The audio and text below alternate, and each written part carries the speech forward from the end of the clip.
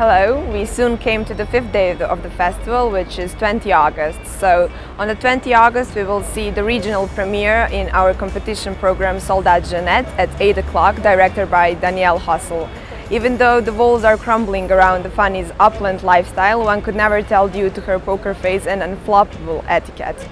No longer moved by the beautiful objects money can buy and on the verge of being discovered for the convening ways, Fanny sheds her Burgess identity and decides to trek her way through the Alpine Mountains.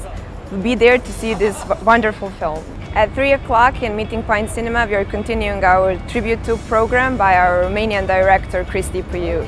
We're continuing with the film The Death of Mr. Lazarescu, which is filmed in 2005. It's a dark comedy. In the film, an old man is carried by an ambulance from hospital to hospital all night long, as doctors keep refusing to treat him and send him away. The Death of Mr. Lazarescu enjoyed immediate critical acclaim both in film festivals, where it won numerous awards, and after wider release, receiving enthusiastic reviews.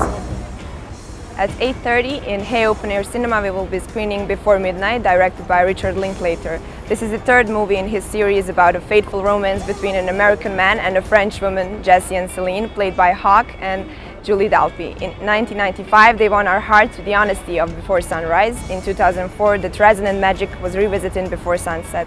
Now in the eagerly anticipated third chapter in the star-crossed tale of Jesse and Celine, Richard Linklater fast forwards to nine years after the last meeting in what just may be the perfect ending of the trilogy.